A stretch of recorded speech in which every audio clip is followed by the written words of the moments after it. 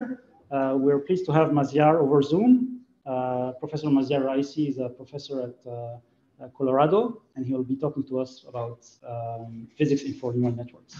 The floor is yours. Yeah, thank you very much for the introduction uh, and for the invitation, actually. Uh, today, I'm going to be talking about two topics. One of them has to do with external flows and actually designing super cavitating hydrofoils. These are the, these hydrofoils that you see here. They're going to enable the vessel to go really fast. And it, it's going fast because it is basically flying in air rather than water. Because of the speed, you're creating vapor around uh, those hydrofoils.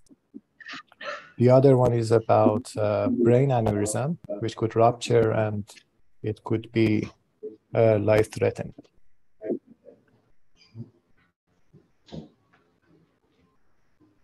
I hear some background noise. Maybe I hear some echo. Maybe one of the microphones is still on.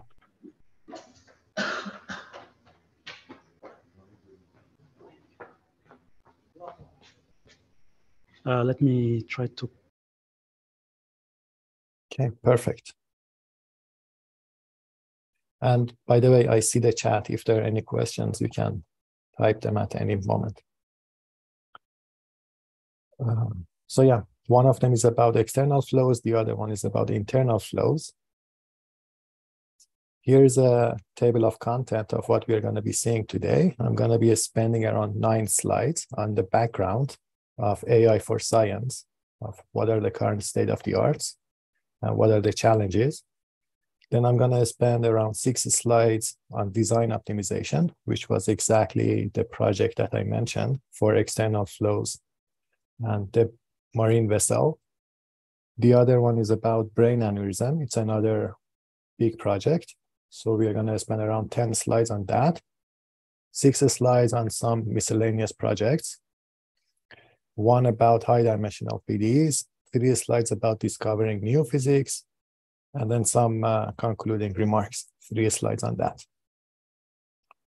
So let's start with the background. Uh, the type of physics or prior knowledge or inductive bias or invariances, equivalencies that I'm going to be talking about in this talk, uh, they are not of the form that you see on this slide. They are not about images, they are not about text, and they are not about generative models. But I'm including this slide here because there is physics even in our images, even in our text. For instance, if you take this container ship, uh, shift it to the left, up, down, or uh, in any other direction that you like, it still needs to be classified as a container ship. And this is one of these, one of the equivalencies and invariances that uh, CNNs leverage to give us uh, really good results. But the story here is if you have enough data, you can learn those invariances, the physics, from the data. But in scientific computing, we have less data, and therefore we have to be, we have to work a little bit harder when we are designing our neural networks, when we are designing our loss functions. If you're interested in these, these sorts of topics, I have a two semester long course on applied deep learning in the first part, in the fall semester, I usually talk about computer vision, including topics such as classification, uh, semantic segmentation, pose estimation, object detection, and even going to videos and 3D type of data. In the second half of the course, I usually talk about natural language processing, multimodal learning, where you are combining images and text, or images, speech, and text. Then I talk about generative models like GANs and diffusion type of models. Then some advanced topics like self-supervised learning, contrastive learning. Then we go to speech and music, reinforcement learning, graph neural networks, recommender systems, and computational biology. What I'm going to be focusing mostly on today is about AI for science and about uh, videos and 3D type of data. But if you're interested in, in other topics in deep learning, this is a course that is relatively well received by the community. The type of physics that I'm going to be talking about are the type of physics that have been around for a very long time. For instance, the Navier-Stokes equations. And there are actually university departments or even companies dedicated to these sorts of equations. You can use them for climate modeling, for designing airplanes, cars, or even uh, internal medicine. Here are, the, here are the equations. You have the continuity equation, you have the momentum equation. And these equations uh, get really hard when you're working with high Reynolds number. In a non-dimensional form, if you write Navier-Stokes equations, the Reynolds number is going to have is going to have something to do with the viscosity of the fluid and uh, the geometry, the shape of the objects that you're dealing with. And in those cases, uh, people typically don't solve Navier-Stokes equations unless they want to generate data for uh, RANs, for uh, really accurate type of data that you see. So for those, you are going to need supercomputers, and people usually don't solve that. What people usually do is they're going to go and deal with uh, the averaged version or average solutions to Navier-Stokes equations because you want to know what are the average behavior. You don't want to know all of the detailed fluctuations.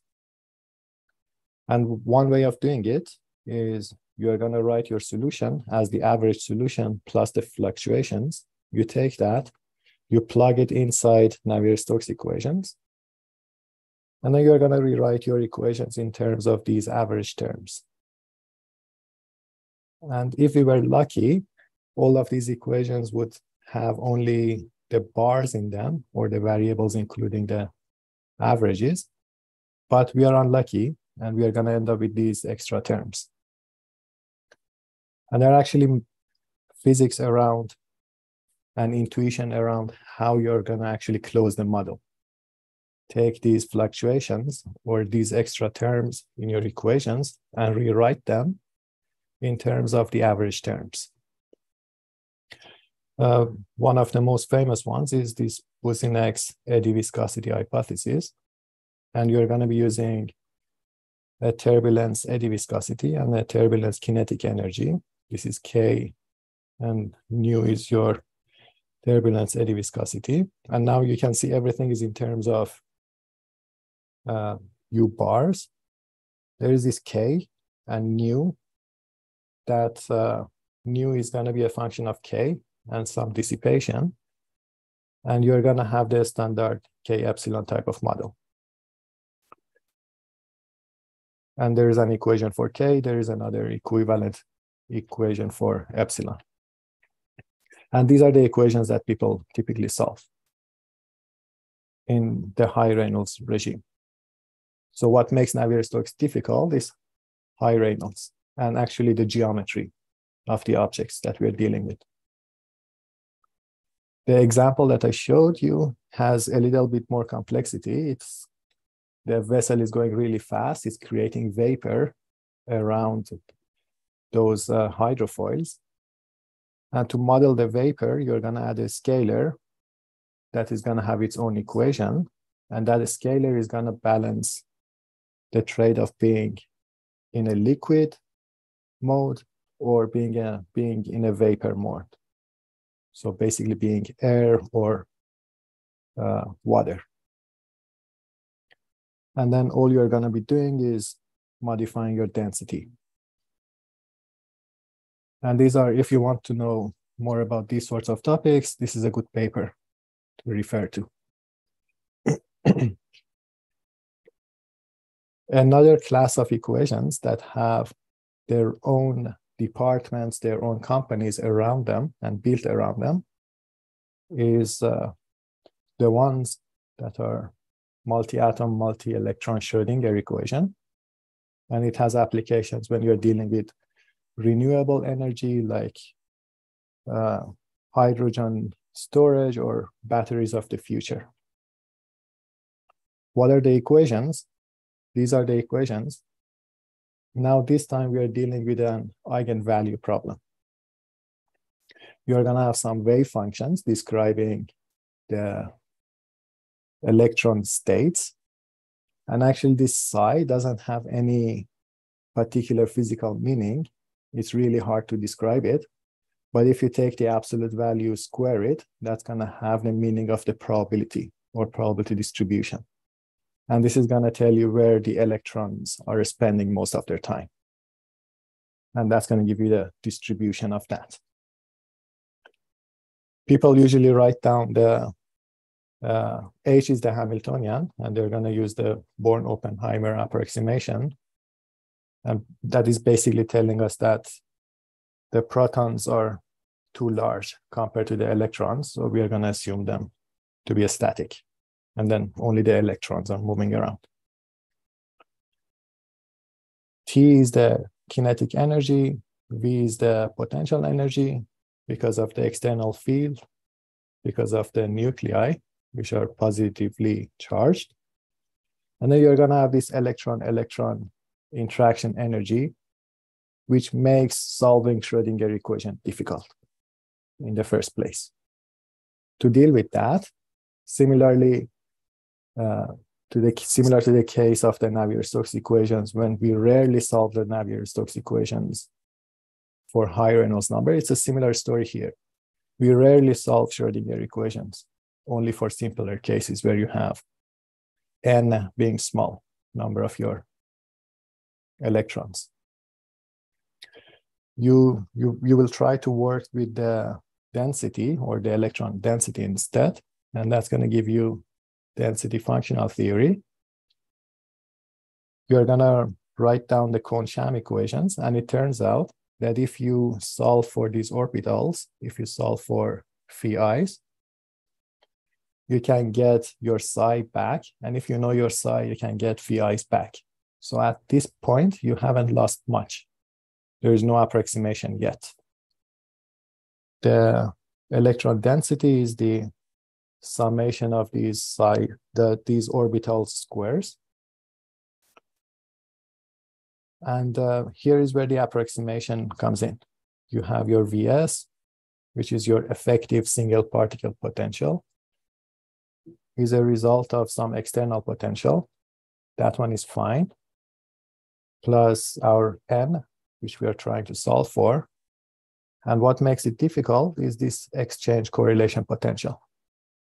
And this is where people get ad hoc. Now you're going to get approximations to Schrodinger equation, and that's going to give you a whole new field of density functional theory. And here you have a family of models that you can choose, like local density approximation, which is only a function of n, or you can go higher order. It's as if you're doing higher order Taylor expansions, or you can include gradients of n. There are actually ways of solving those equations using deep learning. You can approximate psi, which was your wave function, with a deep neural network. That deep neural network could be physics informed on its own, like respecting the Slater determinants. It has multi-determinant expansion, and you name it.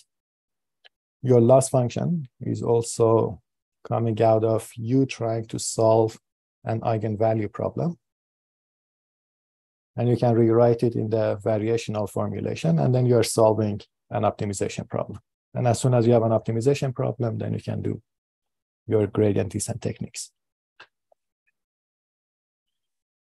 Another class of equations that are really useful, for instance, uh, you can find their applications in material science, designing new materials, in protein folding or protein dynamics, DNA, etc., is trying to solve molecular dynamic equations you have n particles Each particle has a mass. It has the corresponding location at time t, the velocity, and the acceleration of the particle.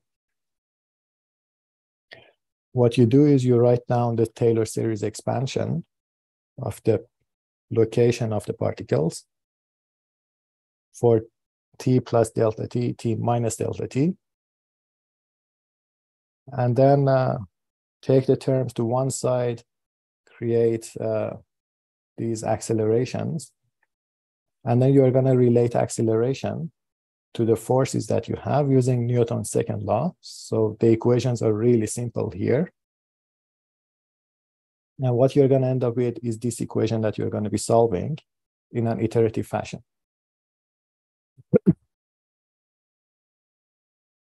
and your F is usually coming out of a potential. And this is the landscape of your uh, energy potential. And then you have a family of what type of U you want to use, like pair potential, multi-body potential, reactive potentials, or the type of potentials that come from quantum mechanics, from solving uh, density, from density functional theory, the one that I just explained. But what makes molecular dynamics difficult is not the equations that you're solving, is actually for a very long time when you're solving these equations, for a very long time, for many time steps, nothing happens. And then suddenly the, inter- the interesting things happens. Suddenly the protein folds and then unfolds. And then goes from one state to the next state. And there are actually methods to accelerate the solution uh, to those sorts of techniques, to those sorts of uh, problems. One of them is VAMPnet type of ideas, and the other one is this Boltzmann generator that I want to refer. These are not my work, but it's a good idea to know about them. Another class of uh, equations that are really important and there are actually companies around them, uh, are Maxwell's equations. These are the equations in terms of the electric field and the magnetic field. You're going to have the Gauss law for magnetism, Faraday's law, Ampere's law. In vacuum, the equations are going to simplify. And in the end, once you do some uh, simple arithmetic on the equations, you're going to end up with wave equation. So you might say, so what is difficult about solving wave equation? These are just simple second order partial differential equation. What makes solving these equations difficult is the actual geometry. You want to do communication from one tower to somebody's cell phone, and then it has to go through the geometry of a city or the geometry of the building. And this is what makes solving these equations difficult. The geometry itself, not the equations. This is why people start with simplified scenarios and they stop there. What's going to happen in the next level of complexity is you do ray tracing as a means of an approximate solution to Maxwell's equations. Or you can go the statistical route. You're going to say that when you're communicating from one point to another point, the signal is going to go through uh, different phase shifts and different amplitudes. And once you write down your uh, write down your equations in terms of the taps, these are the units of uh, communication then you're going to end up with some channel which you need to est estimate. And uh, you can make statistical assumptions on that using the law of large numbers. And the central limit theorem, you can assume that H is normally distributed and your noise is normally distributed. And then you're going to have your statistical techniques. So, what is the message here? We rarely solve uh, our equations and these equations actually are really powerful. And we have already solved the physics of the problem to some extent. And now it's a matter of solving these equations, which uh, makes them challenging.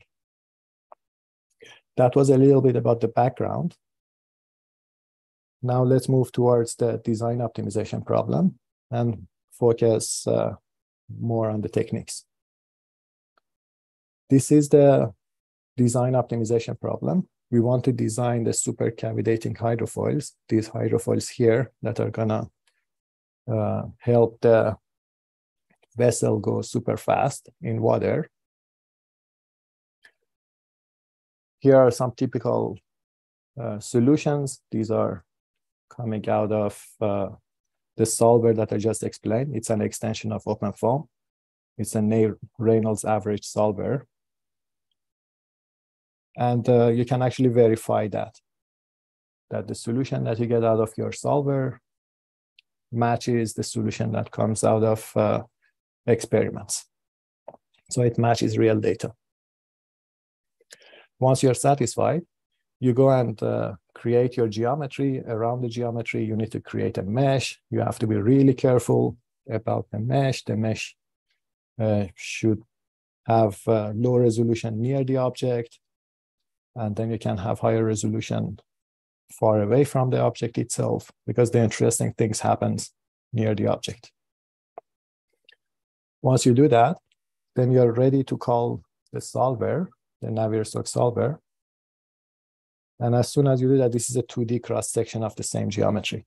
So you're creating a 2D cross section. Once you solve your equations in a numerical fashion, you're going to end up with the quantity that you're interested in, lift over drag. Now you can start generating data out of the solver, but the solver is really slow. It takes around six hours to give you the solution, even if, even in the case that you have your mesh in place. The geometry is already meshed. But this is actually where we are going to put our machine learning uh, surrogate. You have a geometry, you can parameterize it. Given those parameters, you can generate data out of this process this is the input, that's the output. And you want to build a surrogate for this function. And this is where machine learning can help us. And this type of machine learning, surrogate modeling, knows nothing about the physics. The data is physics informed, but the machine learning technique that you're going to be using, we can apply it on any data, including the data that is coming out of a physical model. And you can actually do Bayesian optimization. And why would you do Bayesian optimization? Because you're trying to design uh, your hydrofoil. At the same time, you want to be as data efficient as possible. And this is where the uncertainty in Gaussian processes can help us explore the space in a smarter way. We don't need to simulate all of the cases in this high dimensional space. We just need to simulate the cases that are interesting. And it's going to happen in an iterative fashion. And you are maximizing lift over drag, or equivalently, you can minimize drag over lift. There's actually a growing literature around the surrogate modeling aspect of uh, AI for science. And actually, they call it PDE solvers, which is not true. You are not solving your PDEs, you're creating a surrogate for the underlying data that is generated from a PDE solver. So these types of techniques are going to be as good as the data, as good as the underlying solvers. And these are some extensions of the same work. And uh, you probably have heard of this uh, Fourier neural operator and the literature around it. And uh, I guess the newest one is this Clifford neural layers. And these are in the realm of surrogate modeling. Let's move on to brain aneurysm problem and let's try to incorporate physics explicitly in our equations. And uh, let's see what happens. And let's start with a challenging problem. Uh, this is the brain aneurysm. Let's say the data that you have is this video on the left. And what you have is at this point in time, at this location in the space, you have the concentration of the dye that is injected in somebody's arteries to visualize the artery and then do the imaging. We can think of this similar to MNIST, but this is actually a video and it's 3D data. And it's similar to MNIST in the sense that you are dealing with images that have uh, single channel. They are not colorful. You have this C that is a, a constant from zero up until one. And from that, we want to know the velocity field inside the aneurysm. And why is that important? Because as soon as we know that, we can give the doctors more information of what is, what is the shear stress on the wall of the aneurysm. What are the likelihoods of this aneurysm rupturing? So today, what the doctors have is this image on the left. We want to give them more information, more quantitative information. The image on the left is telling the doctors that there is an aneurysm. The aneurysm is this big. It's not telling them in which portion of the uh, aneurysm there is the most pressure and it's most likely to rupture.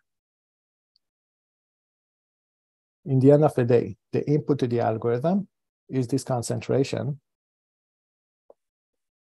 or at this point in time, at this point in space, you have the corresponding concentration, and the output of the algorithm is the velocity field. And as soon as you know the velocity field and the pressure, you can compute the shear stress. And this is just a post-processing step. Now let's put our deep learning hats on. Somebody might say use 3D convolutions. Somebody might say use PointNet. Somebody might say because you're dealing with uh, 3D data, perhaps ideas from LiDAR type of data are going to be helpful to you and use PointNet, PointNet++, DGCNN, or even these days transformers because you're dealing with a set of points.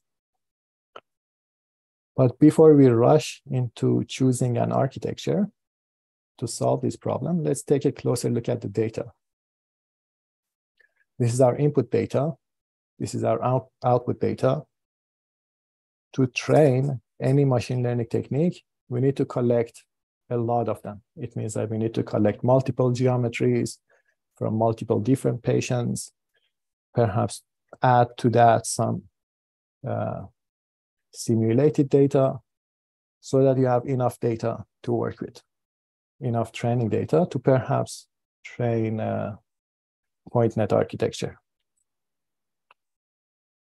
But the major issue here is we have small m. We don't have enough m. Think about it at the extreme. We cannot even collect thousands. We can collect around one or two. And we actually have one data point that we're going to be testing it for we're going to be using it for test data rather than training on it. So we have a small m problem. And uh, to find a solution, somebody might say, don't use deep learning. Wait for enough time, perhaps in the future, you have enough data, and then you can train your deep learning model. Somebody might say, go ahead and collect more data. And that one also requires new technology, a lot of people to be collaborative, willing to share their medical records. And that leads to these privacy concerns. And somebody might say, if you have privacy concerns because you are working with medical data, perhaps federated learning is going to help you, which is the idea that you don't need to uh, transfer data from the user to a cloud. You can transfer the weights of your model back and forth. You can do, somebody might say do semi-supervised learning, but here the problem is even the input, we don't have many of them. Semi-supervised learning type of ideas are useful when you have a lot of perhaps unlabeled images or unlabeled text. Here, it means unlabeled input. Here, we don't even have enough uh, inputs, input data. Uh, therefore, ideas such as transfer learning are not going to help us if you want to go from a super self-supervised learning to a downstream task. Somebody might say use simulated data. This is actually a good idea, and we are going to explore it and see what we get. But there is a catch with that. There is this reality gap that we need to close. Simulated data is going to have a different distribution from the real data, and there are actually ways of dealing with them, like domain adaptation, domain randomization. Let's try to test that idea further. And even if we manage to train a deep neural network, even if we manage to deal with the small m problem somehow, there is this question of trust and robustness. Do we really trust going under a surgery because a deep neural network told us to go under the surgery? And at the same time, we know that these neural networks are not robust. If you take the input, shift it a little bit in an adversarial fashion, they're going to give you a totally different output. They're going to classify cats and dogs, cats as dogs. So we have to be careful with uh, the method that we are trying to come up with. Let's test this idea of simulated data more. People do this all the time in robotics, they also have a small data problem, especially if they want to work with uh, robots in the real world or in an experimental setting. What people usually do is they do test their ideas in a simulated environment like OpenAI Gym and then do domain adaptation. Or even for self-driving cars we are not going to trust the car driving on its own on our roads. It's dangerous, it's costly. We test the ideas in a simulated environment. But somebody might say, if you are doing simulation for your problem, just simulate once and uh, get a solution out of your method. You are dealing with Navier-Stokes equations, just solve them using scientific computing. Let's see if what are the challenges there for this problem. First of all, we need to extract the geometry from the patient. This is going to take some time and effort. We are going to need to mesh the geometry. And this is where we are going to need an expert in the loop. These are highly trained people uh, creating meshes. So creating mesh is not only about the science of meshing, it's also an art. So let's even assume that you have your mesh in place. You can run the Navier-Stokes, perhaps your favorite Navier-Stokes solver, perhaps OpenFOAM, Nektar++, Plus you name it. And this is gonna take you around uh, six hours to finish or 48 hours to finish your Navier-Stokes solver. Now the question is, what are your boundary conditions? The input to the Navier-Stokes solvers are the boundary conditions and the initial conditions. And this is challenging. We need to look at the big picture here. This is the aneurysm cut from the left eye of a person from their interior, from their entire arterial system. Now the question is, what are you going to put as boundary condition here at the outlet and as the inlet? And this is where we are going to come up with some ad hoc methods for solving that, or you can approach it in a systematic fashion. You can say that, what about we run the, Nav we run the Navier-Stokes solver multiple times with different inlet and outlet conditions and choose the one that matches the pattern from the data. So we keep modifying inlet and outlet. We keep um, doing remeshing, run the Navier-Stokes solver until we reach a solution that has a low error compared to the ground truth. That's an option, but uh, to give you an idea, if you want to backpropagate your errors and keep modifying even the inlet and the outlet, each forward solve is going to take you 48 hours. Now you need to do that for multiple, for thousands or millions of iterations to modify the inlet and the outlet. So it's going to be thousands and millions times 48 hours. It is definitely beyond my perhaps lifetime. So that's not a solution. Fortunately, we were working on some ideas from physics informed deep learning. Uh, so we were trying to devise a method that can not only solve forward problems, but inverse and data assimilation problems and model discovery type of problems. And this is the story of if you have enough data, you can learn your physics, therefore you are discovering your physics. If you are dealing with small data, you need to make more assumptions about the physics of the system. You need to know your equations. And there are some cases which are my favorite, is the cases where you have moderate size data and then uh, you know your equations up until some parameters. And these are the type that we saw when we were trying to close Navier-Stokes, where you had those uh, fluctuations. We wanted to close them as a function of the uh, mean field. And the idea of physics informed neural networks is very easy. This is actually where things started. And the idea is that the derivative of a neural network is a neural network. It's going to have a computational graph. The computational graph of a derivative of a function is going to share the same parameters with the function itself. It's going to have perhaps different activation functions. And it's perhaps uh, going to have twice the size, if twice the length, or twice the depth if you're doing uh, back propagation to compute your derivatives. But in the end of the day, you have a neural network and you can train it. And this is the idea. Let's see. Let's go back to our uh, case where we had data on the concentration. Now we can write down and our architecture in a slightly different way. People in reinforcement learning do this all the time. You take your input variable, which we are assuming C to be an input, the concentration of a dye. We put it as the output.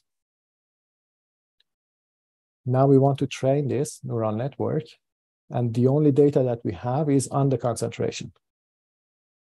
Now the points in a single point cloud is going to give us our training data. And uh, these are the different points. And you're doing a regression on one of the heads. The problem is you don't have any observations on U, V, W, and P. How do you compensate for that? You have equations.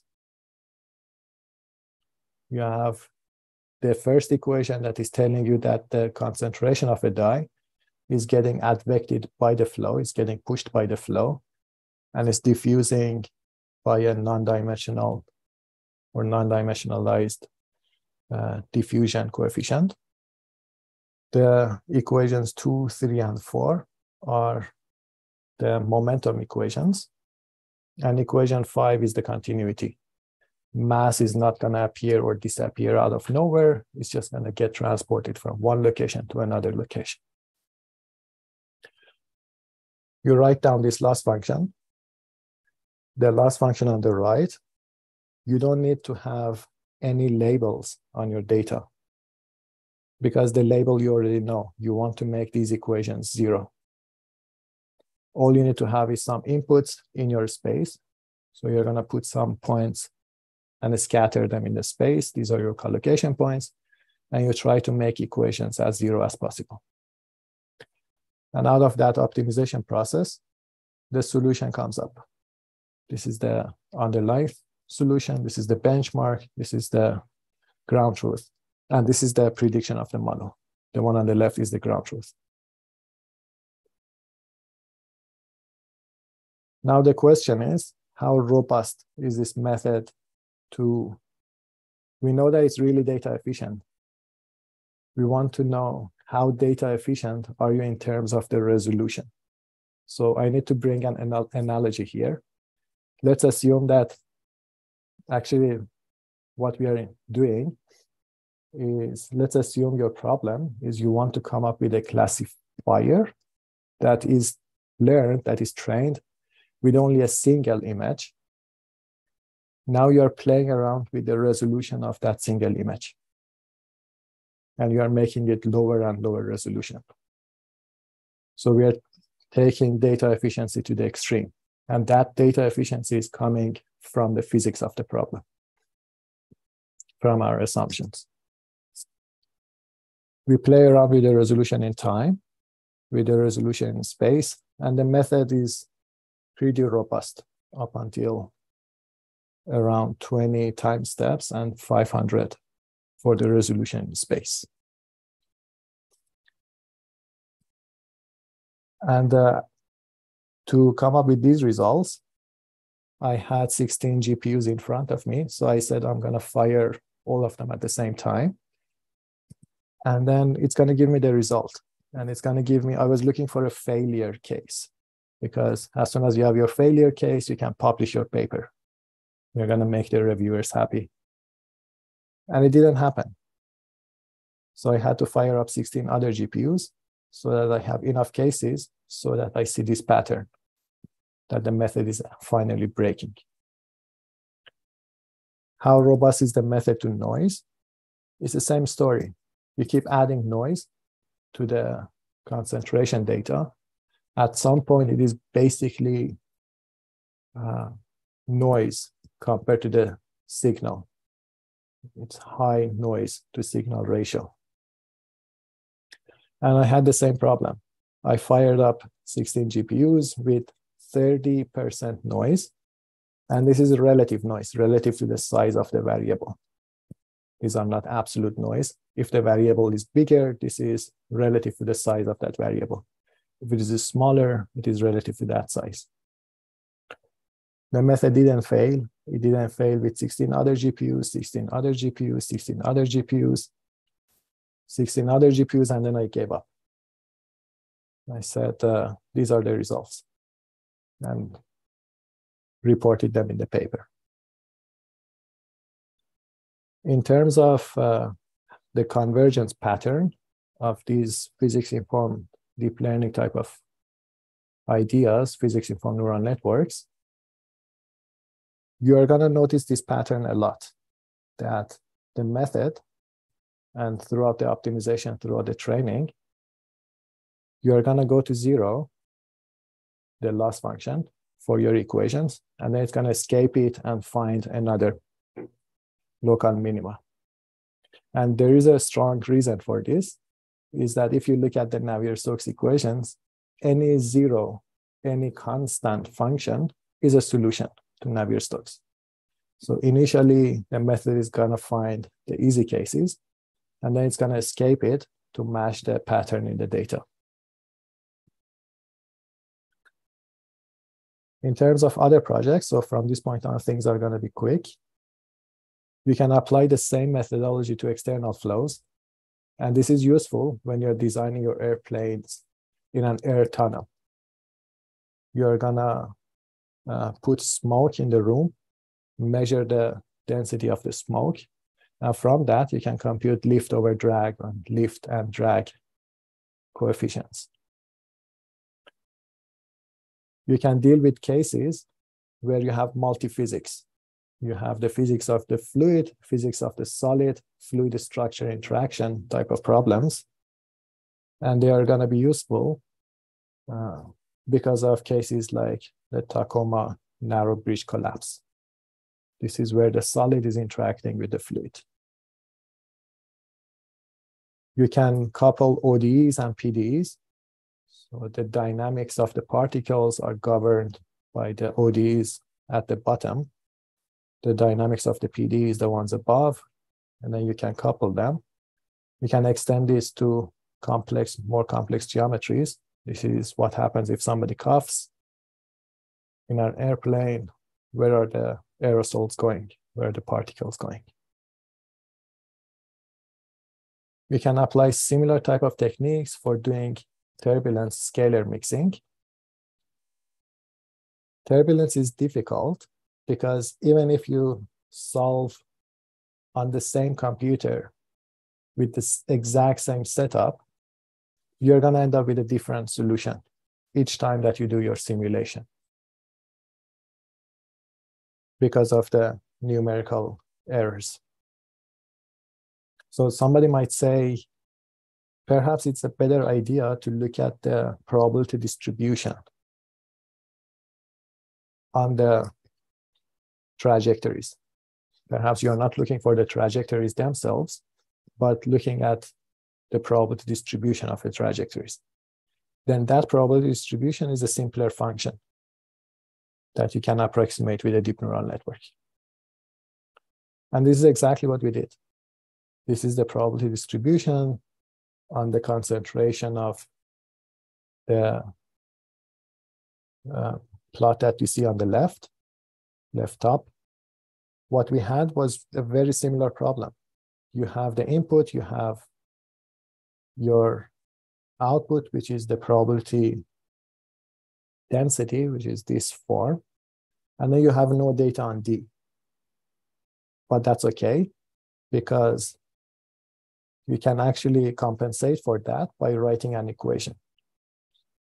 So if you look at this paper and the one that we are citing there, there is a lot of math taking you from the figure on top. It's around 50 pages of rigorous math, taking you from the figure on the top to the figure on the bottom. With deep neural network, this is what we're doing.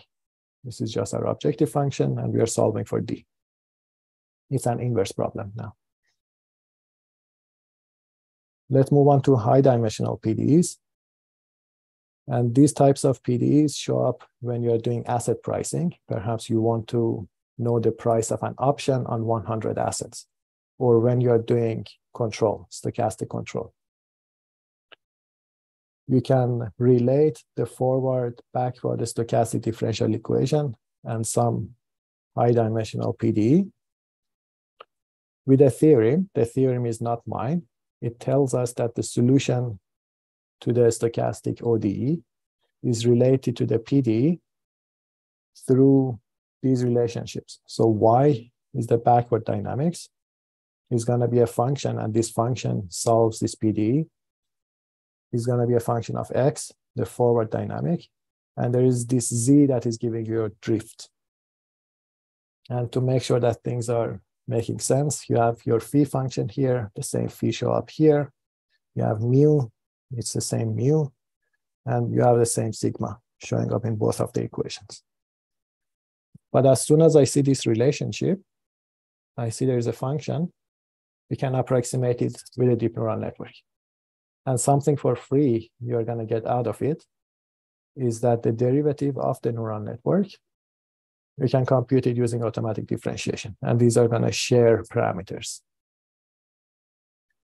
And then you can solve high dimensional Black-Scholes and high dimensional Hamilton-Jacobi-Bellman equation. The cool thing here is the loss function is coming out of uh, the forward and discretizing the stochastic ODE. It's going to be a complicated looking loss function, so I'm not writing it here on this slide. You can find it in the paper.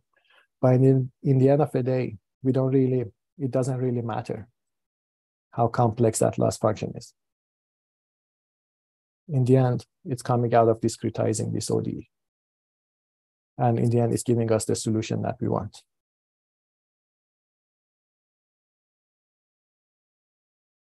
Okay.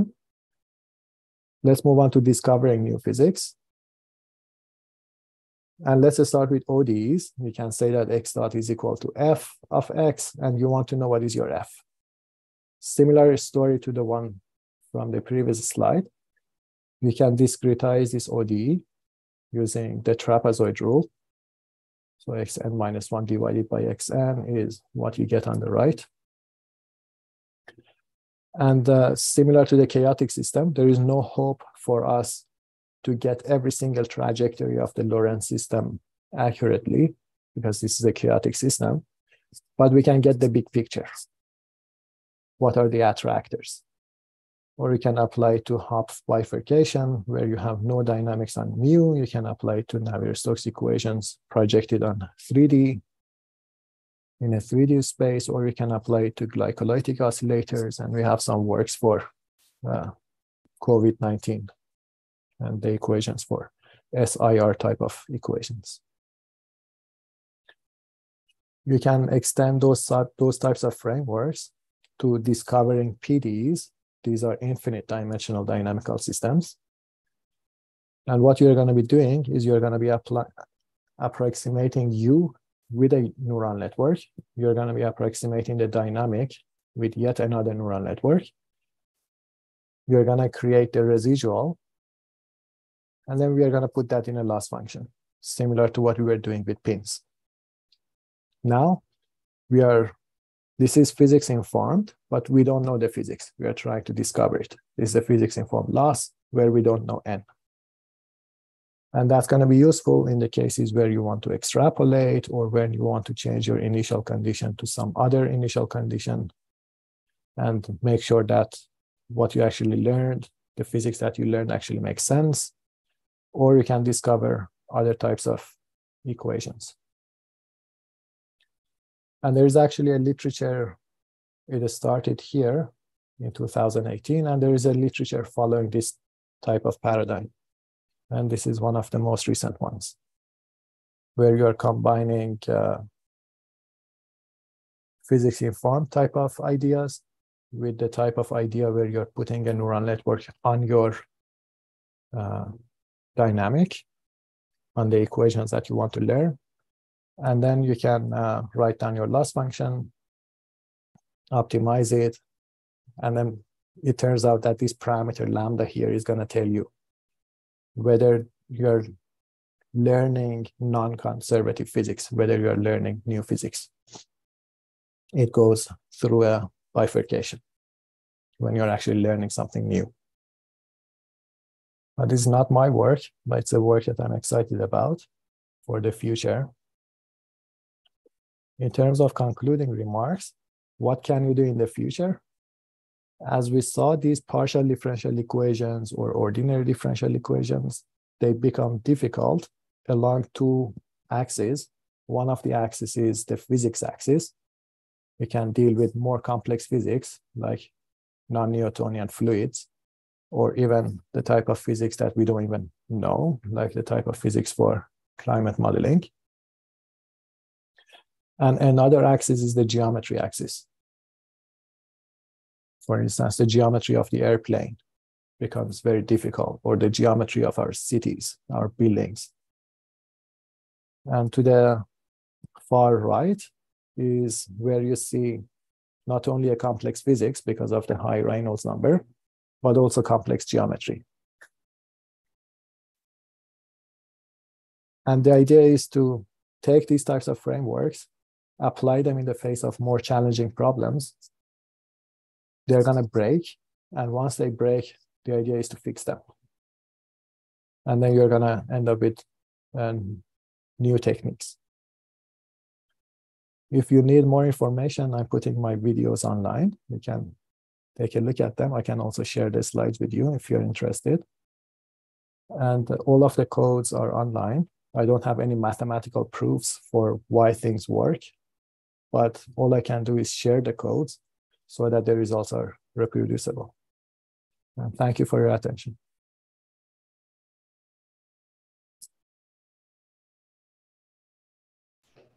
Thank you, Professor Maziar. Let's uh, maybe upload again because the the mic was not on. So do you hear me well? Do you hear us well, Professor Maziar? Yeah, perfect. Okay, so now we will we have time for uh, some questions. I can maybe start good. with a question, uh, Professor. Uh, so uh, in the example you you gave, uh, the first one, maybe the, the so how I don't understand how different are the prediction cases uh, with the testing cases? What what are things that you change in the like the prediction prediction cases? Is, can we change the geometry or the the the, the model's parameters, physical parameters? Yeah, this is actually a good one. Uh, the geometry is fixed, but it doesn't mean that the method cannot work with new geometries because it is actually geometry independent. And we are using training data and we are using one test data and this we are using this as our test data.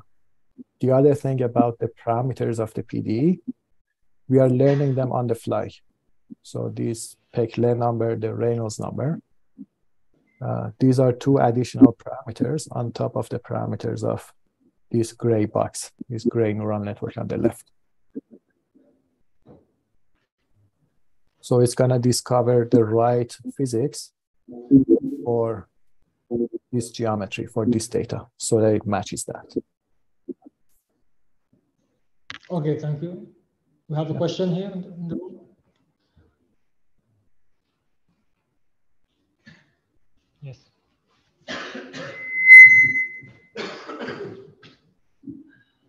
Thanks for the talk. Uh, you can hear me, huh? Yes, I do. Okay, awesome. Um, yeah, so I, with my limited knowledge, I tend to not believe much on extrapolation, and that whenever someone says extrapolation, it's some sort of disguised interpolation. But uh, when you say exactly, yeah, for the neural dynamics, you say that you're able to do some extrapolation. What, what's what's the assumption there? What permits you to do extrapolation? So that's a good question. So what are we doing here? The data is collected from time zero up until time 6.2. It's uh, behind this uh, line, this vertical line. That's where the data is. From that data, we're gonna learn n, we're going to learn some equation. Now the question is, how do you test what you learn actually makes sense?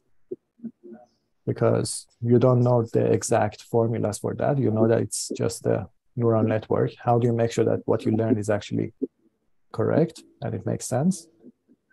What you can do is, you know the equations that you used on the left to give you the exact dynamics you know your equations on the right, which is the learned equations where you have your neural network. We can de- give these two equations the same initial and boundary conditions and solve them, solve both of them. You're going to get two solutions. Now you can compare the solutions. Up until time 6.2, I would say there is nothing interesting. It is still an indication that you learned something about your physics, but then after that, you had no training data. It was just you forecasting the future. And this is where the interesting things happen. Even it is more interesting if you look at the cases where you're changing the initial condition totally to a totally different initial condition. That one is not even in your training data. And now you can see that uh, even if you change your initial condition and you solve these two equations, you're going to get the same pattern, the same solution. So it's a clear indication that the N, the physics that you learned, is actually, uh, it makes sense. Does that answer the question? Yes, thank you. Hi. Uh, I have a simple question. So the PINNs framework looks uh, uh, very um, good in principle, but in practice, some of the use cases it doesn't work. For example, solutions having high regularities, like you know, discontinuous solutions, which often appear in the hyperbolic PDEs. Um, do you have a comment on that? So I heard the first part of your question, but not the second part. So, so I was asking about the, the structure of the solution uh, and the convergence of neural networks. So if, you, if your solution is highly regular, that means it varies significantly, uh, do you think the neural network will have a hard time converge to that? So yeah, this is ex- this is exactly what I mentioned here in terms of future work.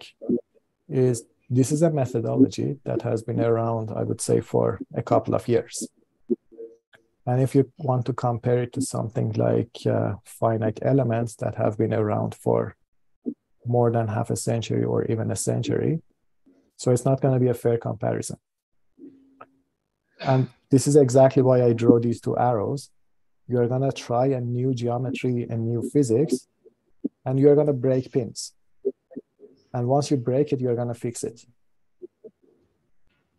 Okay, it's not going to be a solution for all of our problems. It's going to be a solution that is going to be evolving in time. And I can tell you where PINNs can break. And this is, we are having some new papers on that, is when you're actually writing down your loss function. I don't think the problem is the neural network. The problem is this loss function and properly balancing the trade-off between minimizing one, one loss function versus another one. It's the balance, balancing the trade-off between fitting the data and fitting the equations. And for those, we need to do careful hyperparameter tuning, or uh, we can come up with the scales of these equations from a new idea that we are working on. It's about using the time stepping type of ideas. That's going to give us the scales, and then PINNs is going to converge relatively easily. So maybe one last question from the audience. Thank you, Professor uh, for your, your presentation. So I have one question about uh, physics from network. I, tried uh, some uh, packages uh, with and in linear phase they work very well, but for no, no linear examples they, they give bad, bad results. I don't know if there is a, a model that we can use in, in, in, in, in this case, if we have no linear model. Yeah, actually, for non the, the type of models that I'm talking about are all nonlinear. It's going to be u times ux. So this is a nonlinear uh, PD. So I don't think the issue is the nonlinearity. Uh, so I need to actually, perhaps we can set some time and walk through the problem that you're dealing with. So we can share your email maybe, Professor, to yeah, absolutely. So this is my so email. Thanks. So let's thank, thank again, uh, Professor Maziar. Thank you a lot.